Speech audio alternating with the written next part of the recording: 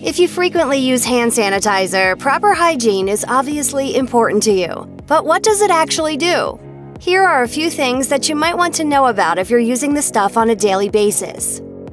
The primary reason that people use hand sanitizer is to kill bacteria and viruses, and it primarily works because it's a vehicle for alcohol. Writing for Verywell Health, registered nurse Christina Duda broke down how and why it works, saying, Alcohol based hand sanitizer is simple to use, convenient, and often easy to find. Alcohols have long been known to kill microbes by dissolving their protective outer layer of proteins and disrupting their metabolism. That's definitely good news for the health conscious commuter or anyone else who often finds themselves suffering through circumstances that are less than sanitary. But Duda cautions that using hand sanitizer isn't a substitute for washing your hands. For all its strength and convenience, it can't do as much good for you as soap, water, and proper hand washing technique. As Duda put it, hand sanitizer can help kill microbes, but it isn't effective on all germs. Sorry, germaphobes. Duda also added that hand sanitizer will do nothing for the other substances that may be on your hands, like dirt, grime, or anything else you'd want to wash off. It's also important to apply sanitizer properly for it to be as effective as possible. So make sure you're using the right amount, fully coating both of your hands and rubbing your hands together until it dries. One thing hand sanitizer is especially good at is killing microbes, which is how it keeps people safe from a wide variety of illnesses. However, sanitizer is actually a little too good at killing bacteria, according to microbiologist Jonathan Eisen. Speaking in an interview with Popular Science, he revealed that one aspect of hand sanitizers that is usually overlooked is that they can affect bodies' microbiomes in a few ways, and some of these ways could be bad. In other words, hand sanitizer has the potential to kill off bacteria that's actually beneficial and helpful for keeping our bodies in order. Because hand sanitizer can wreak havoc on our healthy bacterial communities, Eisen advises against using it every day, saying, I recommend that people use hand sanitizers with caution and only if really needed. So, if you're just hanging around your house or aren't coming into frequent close contact with other people, you can probably just stick to hand washing. Hand sanitizer is definitely useful, but remember, there's a time and place for everything. If you're using hand sanitizer liberally every day, that can become problematic, not just for you, but for the world at large. As board certified internal medicine physician Dr. Seema Sarin told us, according to the CDC, hand sanitizer with antibacterial ingredients may also contribute to the development of antibiotic resistant bacteria. In order to prevent creating those scary little microbes, washing your hands with soap and water instead of reaching for the antibacterial hand sanitizer should always be your default move. What's so scary about antibiotic resistant bacteria anyway? According to the CDC, these pathogens have developed the ability to tolerate the drugs that otherwise should be able to kill them thanks to repeated exposure to antibacterials. Like the prophet Kelly Clarkson told us, what doesn't kill you makes you stronger, and you really don't want these bacteria to get stronger. If you're unlucky enough to catch one of these bugs, your normal course of antibiotic medication won't be effective at clearing them from your body, meaning you might be forced to fend them off yourself, and that's a fight you might not win. Using antibiotics when they're not needed can cause antibiotic resistance and limit your ability to fight off future infections.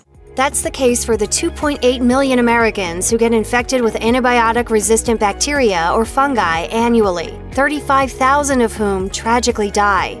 As helpful as they often are, that's a pretty compelling reason to be mindful of how and when you use antibacterials like hand sanitizer. The CDC asserts that hand sanitizer does effectively kill germs and is a good alternative to soap and water when one is unable to wash their hands the usual way. Still, hand sanitizer is definitely not a magical elixir, regardless of what the bottle claims. As registered nurse Christina Duda points out, you can't always trust the claims of hand sanitizer makers. They are, after all, usually trying to sell you something. She pointed out in an article for Verywell Health, the U.S. Food and Drug Administration has taken legal action against some hand sanitizer companies for making unproven claims against Salmonella, E. coli, Ebola, rotavirus, influenza, and MRSA.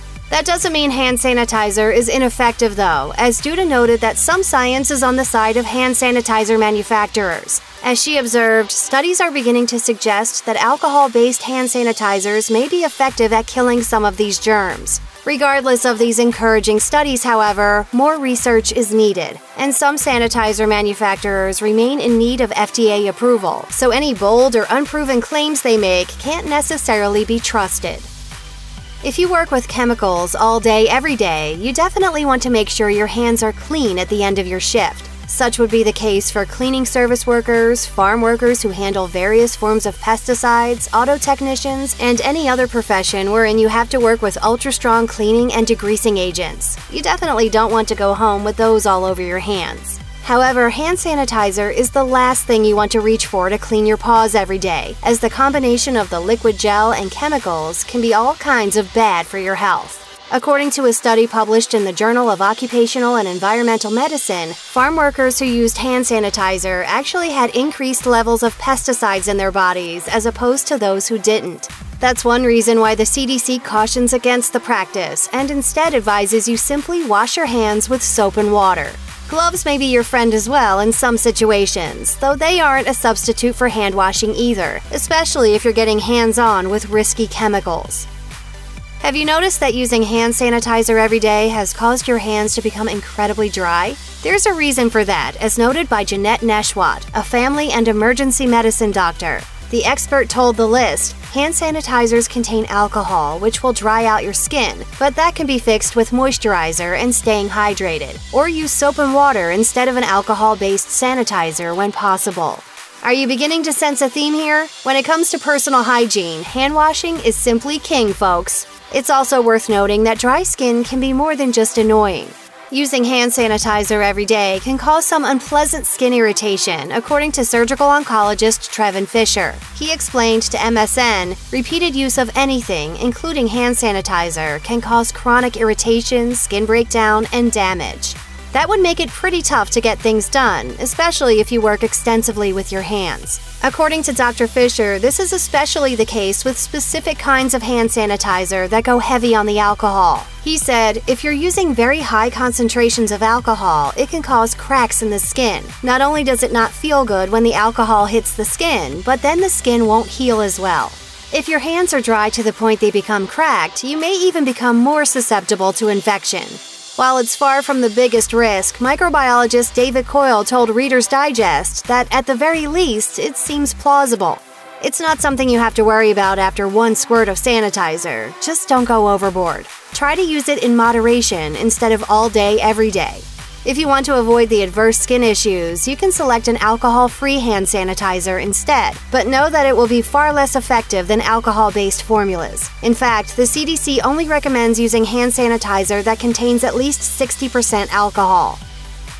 It may not be the highest priority, but hand sanitizer does not care about your manicure. As manicurist Erica Martin told Reader's Digest, it won't take off the polish, but it will break it down and make you more susceptible to chips. What's worse, using the product can actually cause your nails to become quite brittle, according to clinical dermatologist Zoe Draelos. She revealed in an interview with Dermatology Times, physicians will notice that the nails are broken, with fissures at the tips. Although nails are largely of cosmetic importance, if the nail breaks, it can become quite painful, and sometimes the nail plate can fracture and tear into the nail bed. And that in turn can render your nails vulnerable to a number of conditions, like bacterial and fungal infections.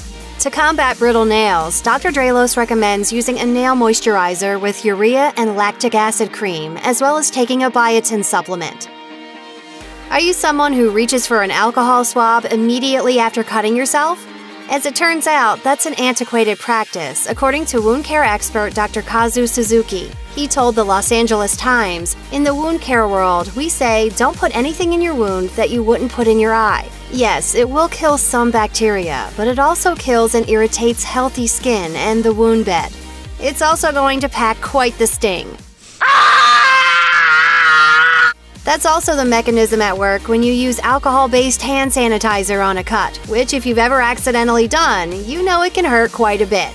Specifically, according to analytical chemist Joseph Glage, putting alcohol on a wound stimulates something in your body called the vanilloid receptor 1, or VR1, and that hurts. He said in an interview with Live Science, so all of a sudden you feel like you're getting burned, even though you're not getting burned. Let's say you've been working in the garden and your hands are covered in dirt, or perhaps you've been cleaning around your house and your hands are visibly showing the grime you've been accumulating. When it comes time to clean your hands, don't reach for the sanitizer. That's according to Graham Snyder, infectious disease specialist and medical director of infection prevention at University of Pittsburgh Medical Center. We've already talked about how hand sanitizer won't get the grime off your hands, but the presence of dirt or other substances can make it harder for the sanitizer to kill germs, too.